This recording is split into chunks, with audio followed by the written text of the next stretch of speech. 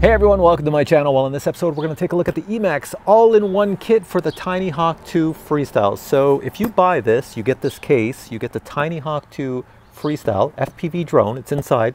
You get goggles, you get batteries, you get a charger, you get the controller, you get everything to get you going in the freestyle hobby. So let me show you what's inside. Now, as I'm opening this, let me just give you a little bit of backstory. So Emax saw my videos on FPV for beginners and they said, hey, Steve, you know, it would be really great for beginners if we have an all-in-one kit. And well, this is the all-in-one kit. So they asked if I'd like it and uh, would I like to review it on my channel. So that's what I'm doing right now. They sent me this, finally getting around to review it. I will say, if you are someone who doesn't know if you want to get into the hobby, this is probably a good kit to get. You can use most of the components in here to keep you going in the hobby for a little while, but you will have to replace them with more pro items. But uh, to get you off the ground and see if you like it for under $200, I think the price for this is around $180 US, I think. You'll have to check the links below.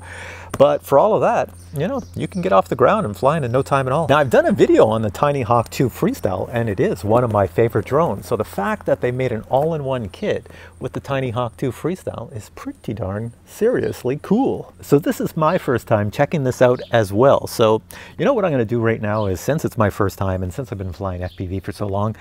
The batteries, uh, I think I have some that are already charged, uh, but I'll take everything out and I'm gonna fly it right now just to show you how cool this is. But first off, let me show you what you get. First item would be goggles. These are your FPV goggles, and you will notice, well, let me take them out of the bag so I can show you. You'll notice that right on the top it has two antennas, which is pretty sweet because two antennas is better than one. You can fly around a lot more obstacles, trees, and whatever, and still get a signal. I don't know if it's true diversity. I'll have to check that out in the specs. It does. I can see the buttons on it. You do have your channels, your bands, so you can search through uh, very easy. Also looks like it has a focus right here. To see these things? You can pull that forward and backwards if it's blurry in your eyes. So if you wear glasses and you have a minor prescription, they might be okay. It is too small right here. If I pull the headband out, watch this. I'll put my head sideways. My glasses are not that large. You cannot put them over glasses. So if you're someone who wears glasses, you may not be able to use these unless you have a very minor prescription. And say you're wondering, well, I don't wear glasses and uh, I could definitely use these because they will fit on my head, then can I keep using these for all the drones I buy in the future? And the answer is yes, these will work with any drone you buy that's FPV. So there must be a battery in here to power the goggles. I think, uh, there it is right here pretty sweet. It's an 18650 battery. That's the battery used to power radios. And uh, yeah, one comes with it. These are pretty expensive. 18650 batteries are very common in the RC hobby. They hold a charge for a very long time, so that's pretty sweet.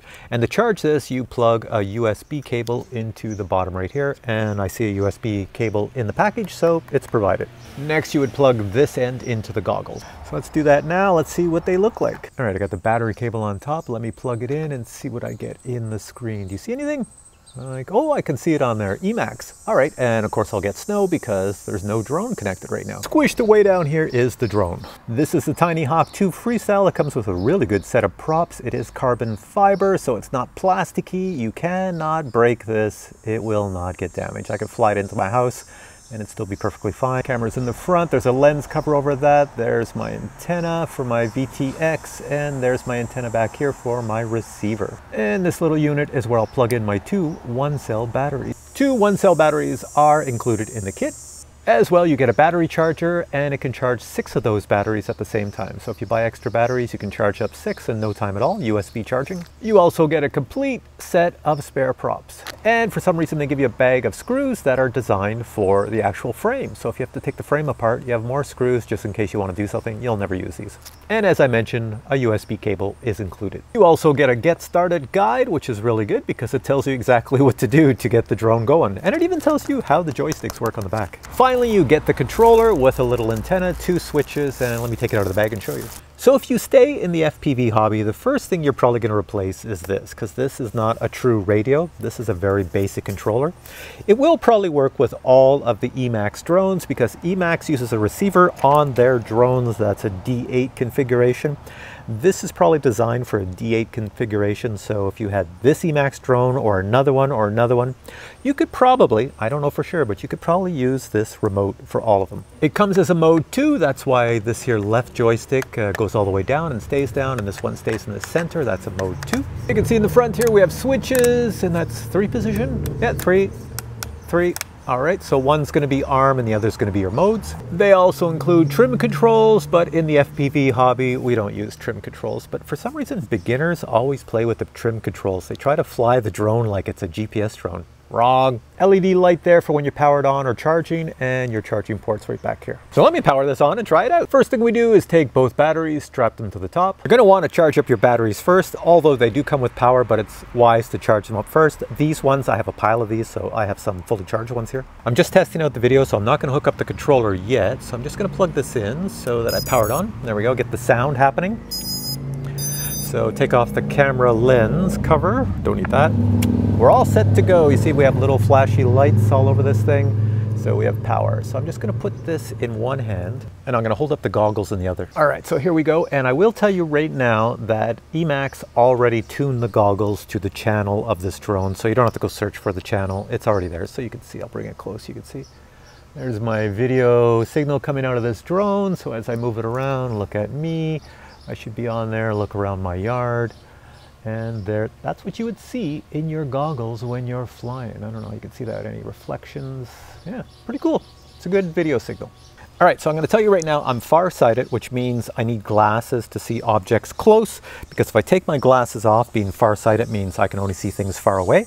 So for that reason, something close like this to my eyes is probably a little bit more difficult to see. So let me just try and see if I can see it in focus, even with these little focus things on the side. Let me try this. So get on my face and uh, no, no, no, no, no, no. I could not fly with these at all. No, my prescription is too bad. So if you're like me and you're farsighted, you probably can't use these. But if you're nearsighted, have a minor prescription or no prescription at all, well then, pfft, too easy, you can use these. All right, let's figure out what these switches do and take it for a flight. So power this on, it should have a beep. There we go, so it should be on. Next, what we want to do is plug this in because uh, now that this is working, when you plug this in, it will automatically find this. So let's plug this in and we should get our little sound. There we go. All right, so that's plugged in. So let's put that down. Okay, I'm pretty sure this is the mode. So I'm not sure what mode is what. So let me put all this down and uh, flick this up. That'll be the arm switch. There we go. So, uh, no, no, I'm not doing that. Whoa, that thing was dancing by itself. All right, so it's pretty easy to fly. So yeah, that's pretty level. That's beginnerish. That is definitely easy for beginners. All right, so I'm flying this thing using the included little joysticky controllery thing here, radio. And uh, yeah, it seems pretty easy to fly. All right, let's try a different mode to see, because uh, this one here with the switch all the way down is very beginnerish. So that'd be perfect for someone just learning how to fly. So let's bring that back and switch modes over here. Let's see if I can land it on my hand. Let's see. I'll hit the arm switch and kill it. And there we go. So let's uh, switch modes. All right, so this time I'm gonna take this switch and put it in the center and see what that mode is. Here we go. That Okay, now I've got a little bit of, watch when I go side to side. I've got some, oh, I can do flips. Whoa, killed it. All right, killed the arm switch. All right, so the center is kind of like a horizon mode, I think then. So that means then all the way up would be acro. So ooh, don't fly in that mode. That's gonna be dangerous unless you know what you're doing. Let's try it. Okay, this would be acro. A lot of power. Okay, I'm going very light on it, but uh, yeah, that's acro. It's going everywhere because now it thinks that uh, you want to fly acro. This controller is not really good for acro. It's not responsive. I don't find it that responsive. All right, so my thoughts on the controller, just like I said from the beginning, you're not gonna keep this controller if you stay in the hobby because it's not very responsive if you wanna fly acro. Seemed like it was okay for like the beginner mode of angle mode and maybe horizon, but when I stuck it in acro, it was a little bit delayed. I'm moving the sticks and I'm used to instantaneous microseconds movement exactly as I move. This has a bit of a delay on it, which is normal for beginners, but if you're in acro mode, you better be flying in a big field because if you move the joysticks a little bit and the drone starts to go this way and then you move it back, you might overcompensate and then it's all over the place. Now my backyard is pretty small, so I'm gonna try to fly this around my backyard, but I can't use the included goggles, so I'll use my Fat Shark goggles, and I can record the video from the camera inside the Fat Shark goggles, so here we go. I think we're all good. All right, so let's put on the Fat Sharks here, get that ready. I'm using this controller to fly it. The drone is sitting, My little drone is right here. I'm putting it right in front of me because I, I feel pretty safe. All right, so here we go. You can see the drone is quite close to me because I'm still in the image. Look at that. Look at that. There's my hands. All right, so it's all set to go. Where's my controller? There it is. All right, so both switches are down. Hit this left switch up and that will arm it and then get ready to fly. Up, and then here we go. There we go, past me so I don't give myself a haircut. And there's my backyard. All right, bringing it slow. So the image you see is what I see in my goggles, but this is recorded in my Fat Shark, so it's low quality. But there we go, I can fly around the backyard, I can fly fast, slow. And uh, there I am sitting down in front of the camera, over my head without giving me a buzz cut. So for a beginner, you know, with this controller, for the price, you save a lot of money and you get into it. Like I said, the only thing you're going to want to replace if you get this entire kit and you keep on flying FPV is this here controller in my hands. Yeah, do not keep using this if you're going to get into FPV. But as soon as you want to get into acro mode, you need a really good radio. A radio that is responsive. Let's see, I'm going to go outside my yard. Try not to kill myself. Let me go up, up, up, up, up. There we are. Make sure nobody's down below.